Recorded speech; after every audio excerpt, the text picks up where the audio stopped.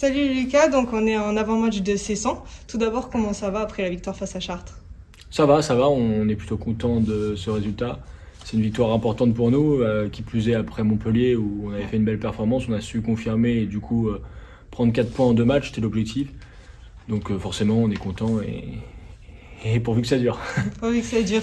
Du coup, là comme tu l'as dit, deux victoires, est-ce que c'est de bon augure pour Cessan de bon augure, je sais pas, mais ça nous met en confiance aussi bien individuellement que collectivement.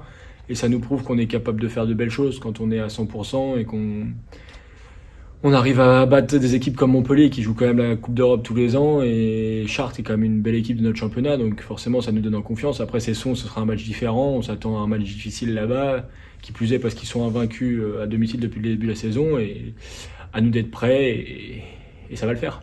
C'est quoi les clés pour, euh, pour réussir face à sons? Euh, déjà, il va falloir bien défendre parce qu'on sait que c'est une de nos qualités et ça, plus la projection sur le jeu rapide. Et puis, il va falloir essayer de contrecarrer au maximum euh, leur plan tactique avec des ailiers qui courent beaucoup. Il va falloir replier, pas leur donner de but facile. Et après, pourquoi pas, ils ont des joueurs d'expérience avec euh, notamment Robin Molinier qu'on connaît bien. Ils ont des très bons ailiers, une base arrière très solide, des pivots, un pivot Hugo Conchop qui est très très fort. Donc à nous de, de bien défendre et de monter les ballons et de jouer notre jeu. Et après, pourquoi pas faire un truc là-bas.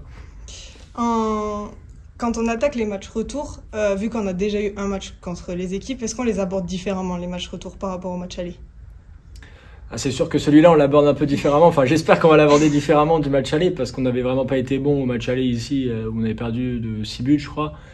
Donc j'espère qu'on va l'aborder différemment. Après, c'est une équipe qu'on connaît bien, c'est son. On les a joués en janvier, là en prépa. On les a joués aussi en prépa en août. Donc ça va être la quatrième fois qu'on va les jouer, donc c'est une équipe qu'on connaît bien, mais ils nous connaissent bien aussi, donc euh, il n'y aura pas, pas, trop de surprises, euh, je pense, sur le plan tactique. Après, euh, que le meilleur gagne. vous avez pas mal de blessés.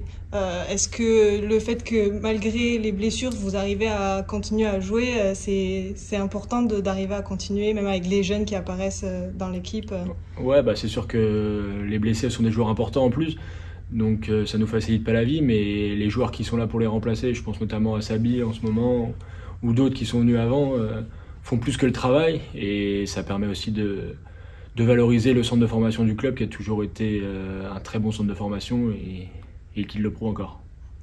un petit prono pour, pour Victoire de Créteil après, après le score, je sais pas, même plus un, on signerait les yeux fermés.